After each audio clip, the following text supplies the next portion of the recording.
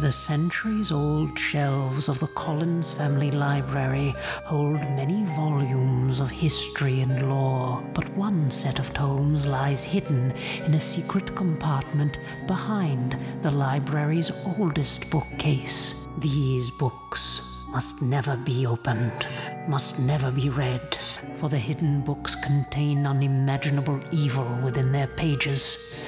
Tonight, young David Collins has stumbled upon the secret compartment and has taken the cursed volumes. Should he read them, he will unwittingly be the cause of a new and unholy terror at Collinwood.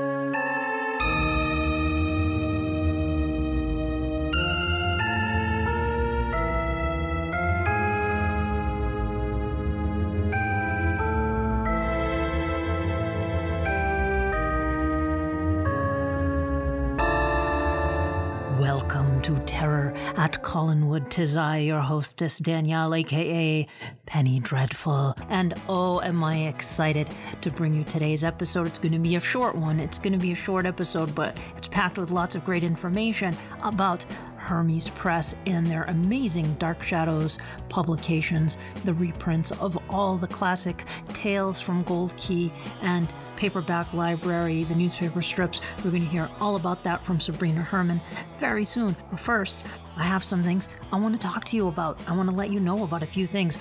Before anything else, uh, I just saw that Robert Hoffman posted a new transfer a couple months back of his great short film, The Creepy Bopper.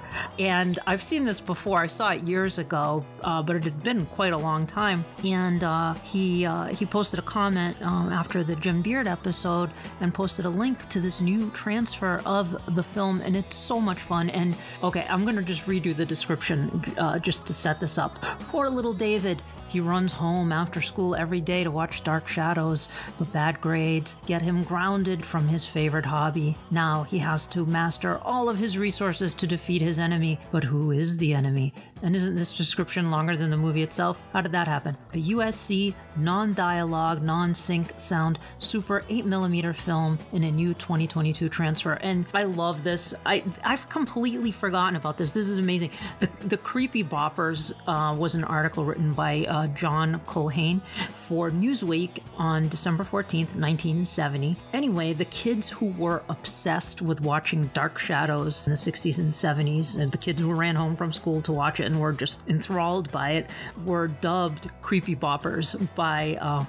And I, Penny Dreadful, call upon the of Mr. Hoffman's film and Mr. Culhane's Newsweek article, and I hereby resurrect the appellation Creepy Boppers, and henceforth, dear listener, that is what you will be called. Whoa, what just happened?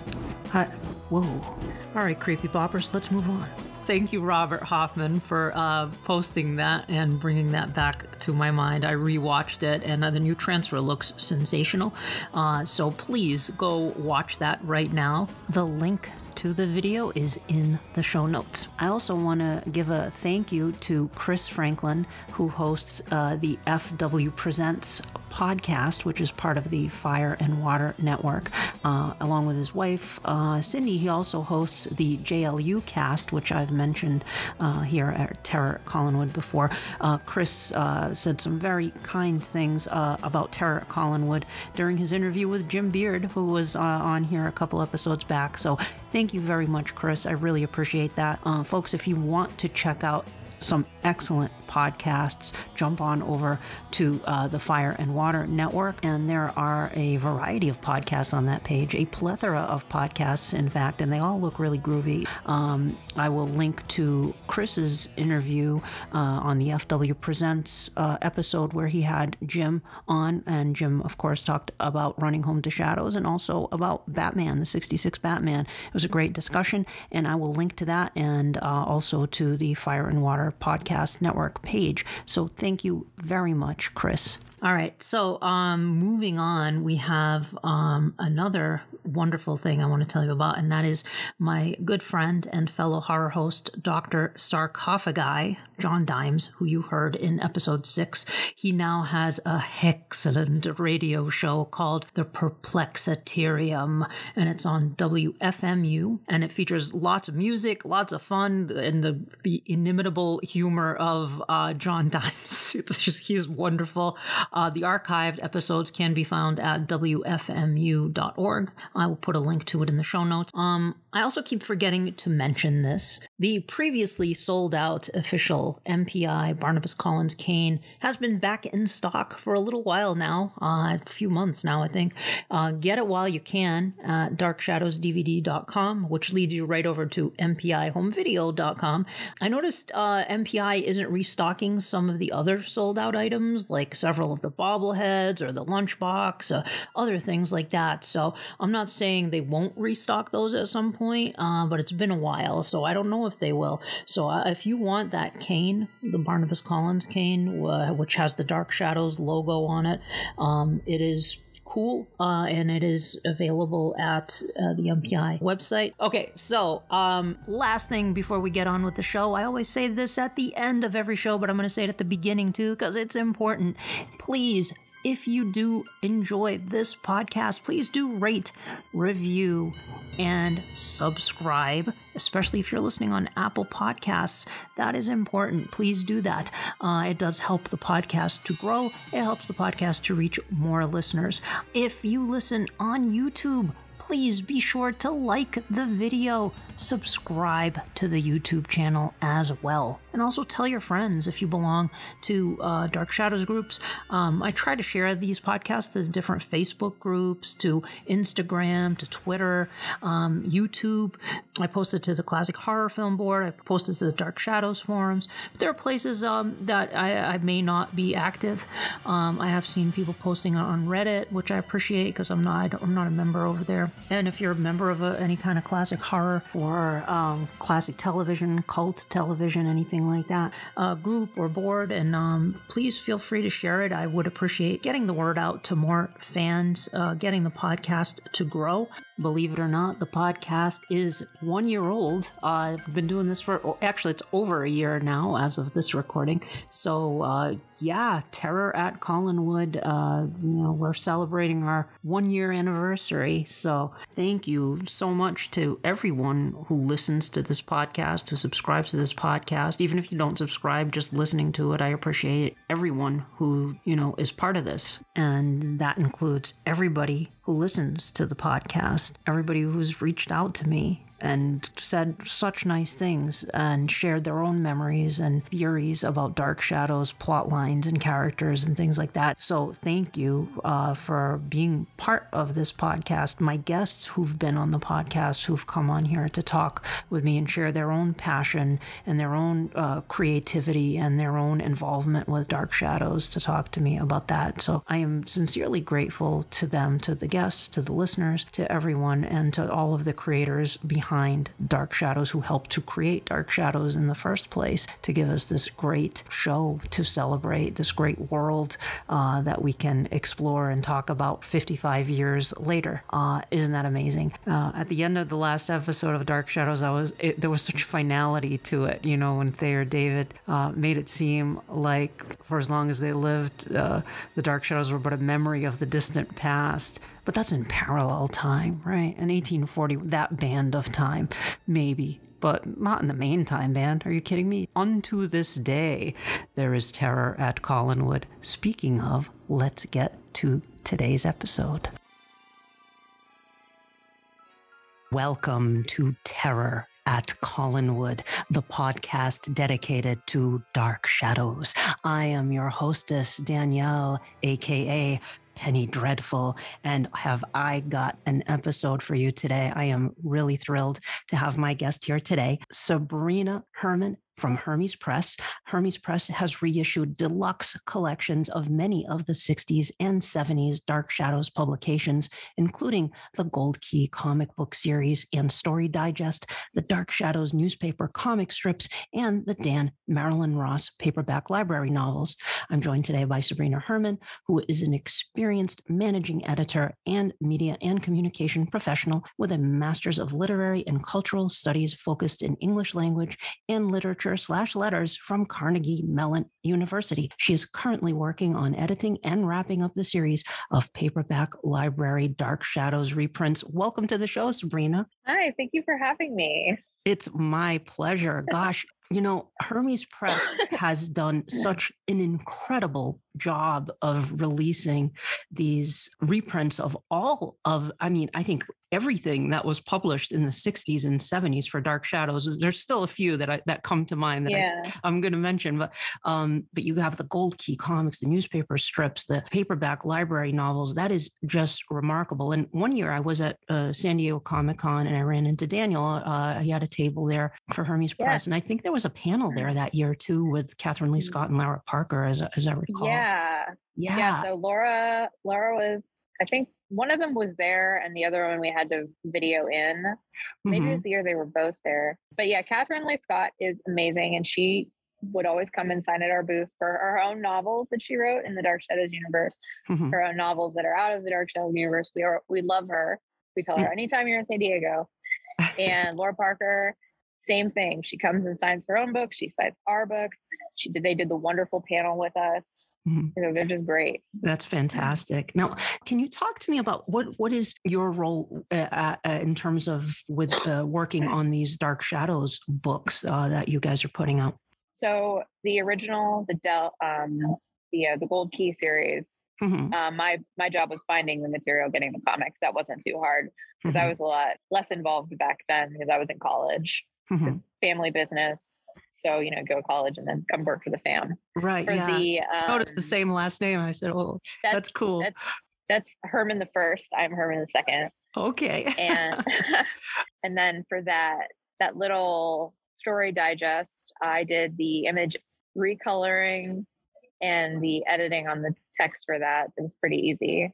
Mm-hmm. Um, it was a lot of fun. And then for the paperback library series, um, so none of it was digitized. So we got the novels, um, including the very expensive The Vampire one, the last one. Oh, the Vampire Barnabas uh, and the Vampire Beauty. Yeah, that that was a wild read. Um, So we got those, and um, Jim Pierson, who is one of the big guys in charge of the Dark Shadows license, he mm-hmm. gave us several copies for us to um, basically run through some software so we could get it digital. And then um, software is smart, but it's not super smart. So my big job was to sit and read over the book several times to make sure, you know, R N doesn't become M. You don't get weird colons, semicolons, odd font things happening. And then I take the finished text and I put it into our um, design software, InDesign, and make sure it's all formatted and looks good and it's readable. And then Candace Hartner, who's um, one of our uh, other people at Hermes Press, she does the covers and the backs. Mm-hmm. And then Dan looks at it all and says, okay, this is good. And then it goes off to Canada to be printed. The, and the... I say, and I do a lot of the.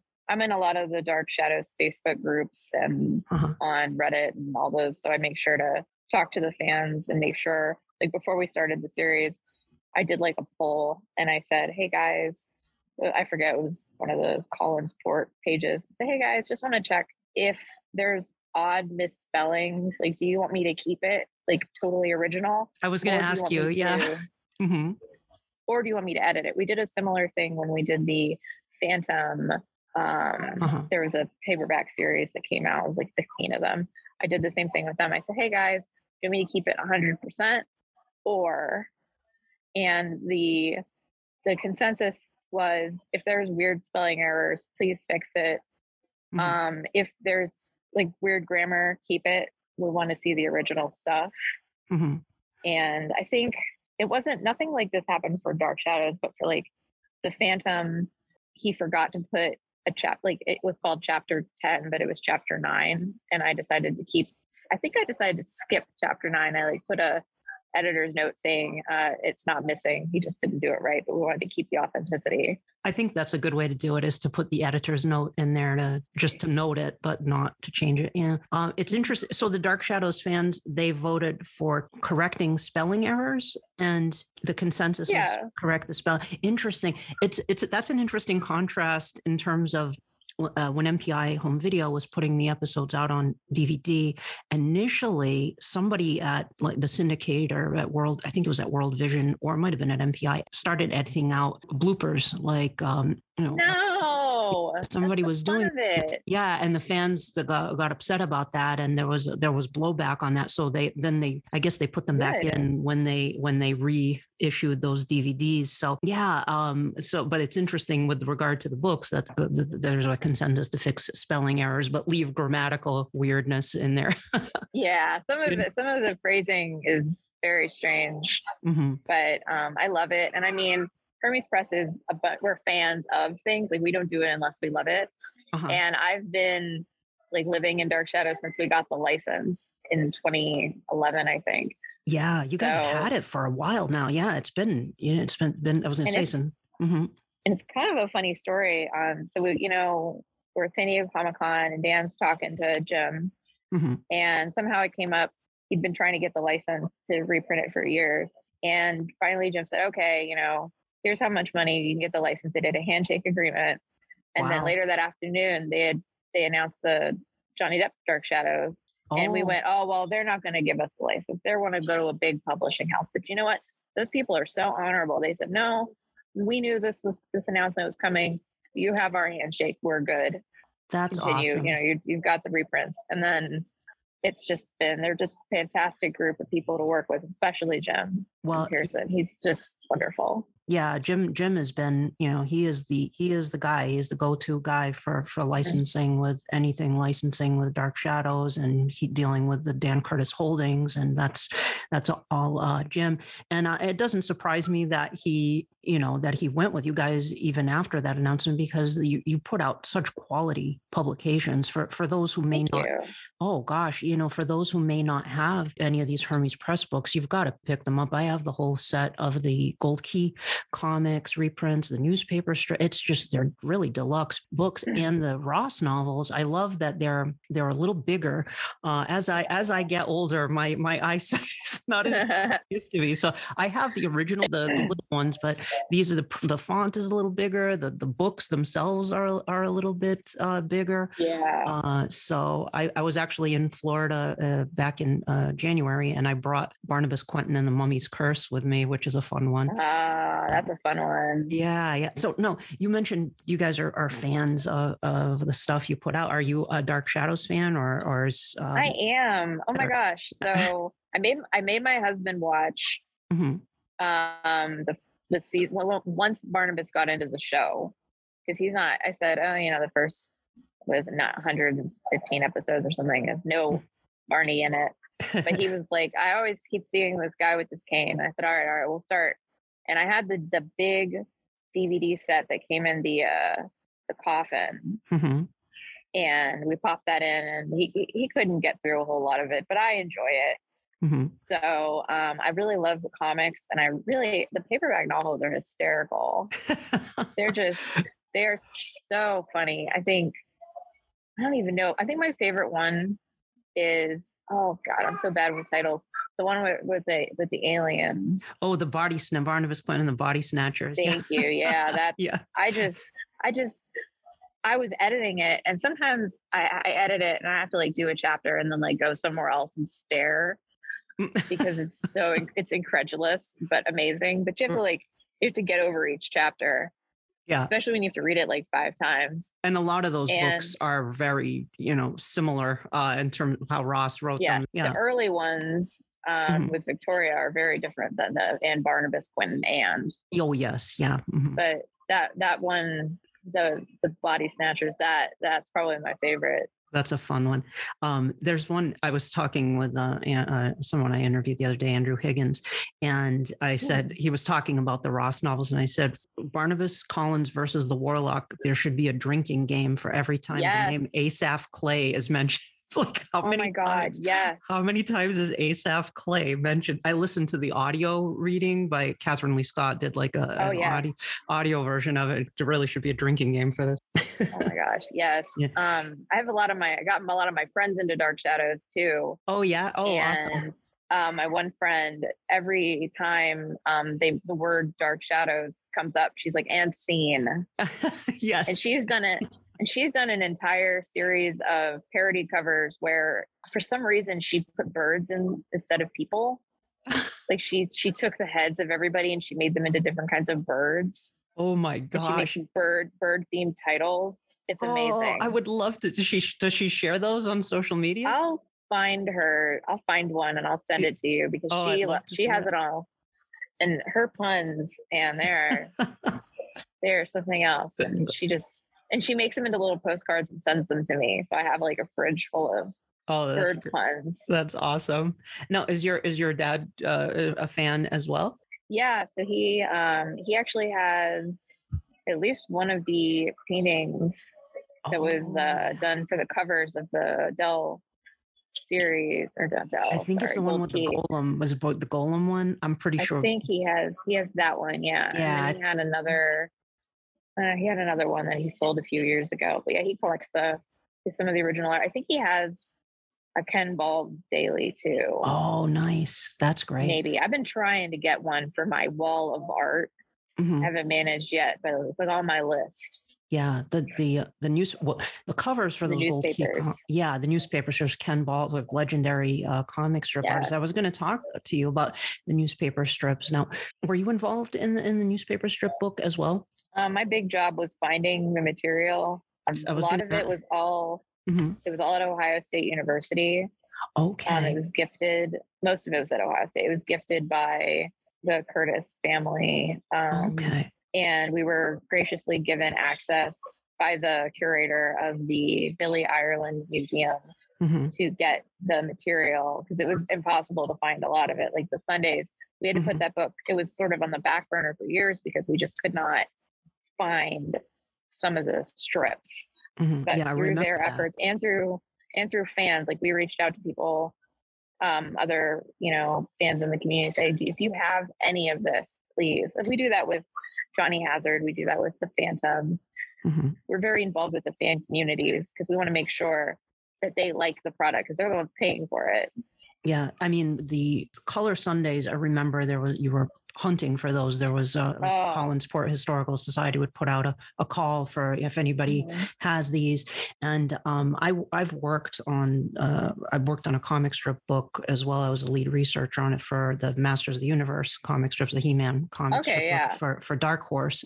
um, i spearheaded that project and one of the big challenges there was with the he-man comic it was like for the first year or two it was they ran it in the us but then a lot of newspapers dropped it but they continued to carry it overseas internationally. So it was a challenge trying to track down um, all of the strips and then the color sundays was it was practically impossible to get them all. We didn't end up finding them all. We went we i found the writer who wrote the strips and he gave me scripts of of the so i was able to do synopses for yeah. the that we were missing i don't know maybe 30 of them or something like that but oh, out of like four and a half years of strips but um, we're going through microfilm. We went to the library of congress i mean it's i can imagine with the dark shadows one too it must have been quite a project trying to track those down Oh yeah, it was. It was a big. Basically, if I have to travel somewhere to get it, I've I've gone down to Georgia for strips for other series. Mhm. You know, Michigan State is a great resource. There was one guy who had four complete years of missing Phantom strips in his basement, wow no and I was like, wow. I said, I'm coming. I'm coming, Jeff. And I flew out to Georgia and I got the strips and I put them in my suitcase and very carefully took them back. And uh, you know, we're slowly sending them back to him. He's, you know, he gets a free book. Every time one comes out, his name goes in it and he gets a book. That's great. Now, for these, some of these paper, going just going back real quick here to the Ross novels, some of these um, that you're putting out have a, a different color cover, and some of those are like exclusive ones that are signed by the actors, correct? Yeah. So we have the yellow, that mustardy color for the regular editions. And then um, Jim put us, Jim Pierson put us in contact with uh, Victoria And oh, Alexandra Moltke. Yeah. mhm. Alexandra Moltke and uh, David Selby, and Yeah. then um, upcoming Nancy Nancy Barrett Yes. to mhm. get their signs, and that's she. They're currently in the mail to her, so she can sign them and send them back to us. So that when the books come in, we can ship them out to everybody. Yeah. And I saw those are still available, correct? uh, For pre order? Yeah, there's a there's a couple left. Yeah, and then we're maybe going to do something special at Comic Con. Oh, great. Oh, so you guys are going to be at Comic Con. Oh, wonderful. Yeah, That's We're going to be at Comic Con. Uh, same booth as always, 1821 and 1823. Great. Yeah. And I, ho- I hope uh, for, for anybody who is at San Diego Comic Con that you will uh, go by. I haven't been in a while, in a few years. Comic Con is uh, is awesome, but it's intense. It's it's a quite quite an experience. Oh yeah, I've Oh, been a few times, but it's been been a little while since I've uh, since I've been, and especially with COVID and everything, I wasn't sure what Mhm. what the deal was going to be. But I'm glad uh, I'm glad things are starting to get back, and uh, and that you guys are are going to be there. Um, so, uh, like I've mentioned, you've done most of the bit, all of the, you know, these major uh, Dark Shadows publications. There's still a few that come to mind, like like the Joke Book and the Cookbook and the Jonathan Frid Yes. picture album, and some of these random ones uh, that, or, or the House of Dark Shadows novelization, which I, I think that was, I don't know if there was an issue with that or not, but uh, any thoughts or can, teasers on any of that stuff? So I'm pretty sure that um, I really want to do the cookbook because I think it's it's hysterical. I'd love to get the cookbook because the original one is so expensive. Yeah. So I we're kind of harassing Jim about it. We're saying, hey, hey, hey, Jim, hey, Jim, Jim, hey, hey, and I mean he'll he'll weaken. He'll weaken eventually. We're very obnoxious, and don't, don't uh, let up. Don't let up. and I think House of Dark Shadows is definitely something you know in the future that we Oh, were great. Great. That's and then we want to do something we're really no we do a lot of like art of books so that might also be something in the Oh. future that we have to just follow jim around about because we have a lot of original art Mhm. and we have a lot of access to stuff through the dan curtis productions so you know Oh, it wouldn't be out of the realm of possibility to do some sort of pretty art book in the future Oh man, there's so much stuff too with merchandising, with artwork, like the model kit art artwork, and um, just so, some of the the just you know things that came out for for Dark Shadows merchandising that would also be fun to include in something like that beyond Oh, the yeah. publications. You know. like my uh my husband's aunt who's really wonderful she has i mean not, she gave me a napkin that barnabas collins signed for her when he went to her school which is amazing it's pretty funny so now i have everybody's autograph but she also had like a set of um collector cards oh, that she gave me so i mhm. have this like set of i don't know 50 or 60 really cool uh, mix of art and television little playing card not playing cards like collector cards that yeah. you know i'd love to include something like that Oh, that would Just be fun. Memorabilia is is so much fun. Totally. And like you mentioned, I mean, like the like you said, your dad had the had paintings of those gold key covers. Those gold key covers are so compelling. Like the first time I saw one of those, I was in my uncle it was my uncle Louis, and up in his uh, my he, you know my grandmother's house. All his old stuff was up in the attic, and I went up there and I, I went up in the attic and I found Uncle Louis's old comics and stuff, and there was a gold key. Co- it was like issue nine, Creatures in Torment, with Barnabas leaping leaping down, and I was like, there's a Dark Shadows comic book? No way, you know. So I was really excited by that. It's just that just that cover alone, that memory always stuck in my head of those those that they're the Dark Shadows comics. And then I'd find them at comic book stores and stuff, the in the back issue bins and stuff, and pick them up here and there. And um, but these collections are just so gorgeous. And you have the introductions by Jeff Thompson, uh, Mhm. where Oh yeah, Jeff's great. Oh yeah, he's he, I've had him on the show, and I've I've known of Jeff for years. He did a like a fan book that I had in the in the eighties, I think, or the nineties, early nineties, late eighties, where he went over all of reviewed each of the Dark Shadows comic books and wrote in depth, you know, uh, essays about them. And uh, you know, he used to write into Gold Key when he was a kid, and and to to Oh, yeah, he offer Mhm. He did some of the intros um, Yeah. for the Dark Shadows, the Gold Key books. Yes, mhm, yeah. So Yeah, he's uh, he's fantastic. Uh, just so folks know, uh, Sabrina's uh, in the airport right now, so we, we may have some background noise. So I do. there's a there's a little cutie running. yeah, um, There's a little kid, yeah. yeah. Uh, Sorry. awesome. Oh no, no, no worries. Um, so what about original content, uh, uh, Sabrina, in terms of one of the things I did for Dark Horse was it was an encyclopedia uh, book of. Uh, do you, mm-hmm. does Hermes do that kind of thing, or is it or is it more um, you know reprints of vintage material, or like you said, art books and things like that, or have you ever done any kind of original uh, content? So yeah, we've done. We did an encyclopedia. It was like every Star Trek book uh-huh. or every Star Trek comic, and then we did um, the James Bond or every James Bond comic. Uh-huh. That was pretty cool. Um, we don't really. We've done original materials. We have some graphic novels that we've published mm-hmm. that are geared towards like a younger audience.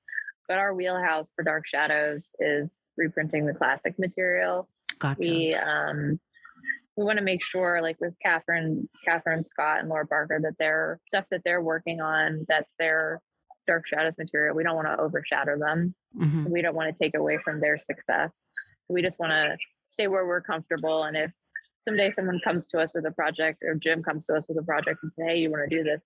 And we'd be delighted. But right mm-hmm. now, yeah, we're comfortable with our reprinting. Gotcha. Gotcha. Yeah. I mean, there, there have been the Dark Shadows publications over the years have been uh, quite varied. We've had you know Dark Shadows collectibles books and mm-hmm. novels and, and things like that. But I, I, that's the one thing I was like, God, an encyclopedia I think would be fun, but that would be intense because between if you did everything like between the TV show and the comics and the movies and and then the newspaper strips and uh, the, the, audio plays and then the, the, the remake shows if you work those into that, uh, you know the book, the novels, all of that just to to contain yes. all of that would be immense. It would so, be a gigantic or very, very thin papered book. You know? Yes. Yeah. There's a wiki page, you know, so I guess the, the, the yes. internet equivalent of that uh, exists. So uh, the Dark Shadows wiki.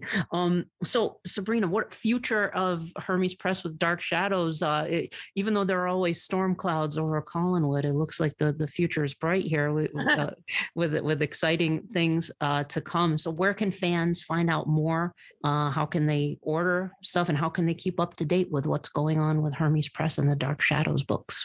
Yeah, so we're really active on Facebook. Um, we have an Instagram, we have a Twitter, we had a Tumblr. Who knows what happened to that?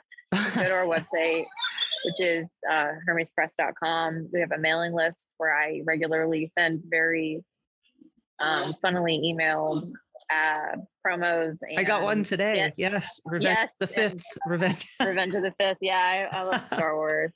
oh yeah. And regularly gets on our YouTube channel and shows off when we get books. Mm-hmm. He does a promo where he reads through it and shows it off. If it's if it's art, if it's paper, he usually just shows the cover and talks about it a little bit. So our YouTube channel, which is you know YouTube slash Hermes Press, awesome. and uh, our Facebook is like Hermes Press Publishing because there's a lady who, for some reason, is named Hermes Press and will give me that name. Oh gosh, what? Eh, I think. Wait, there's wait. I don't know. Are you serious? I don't.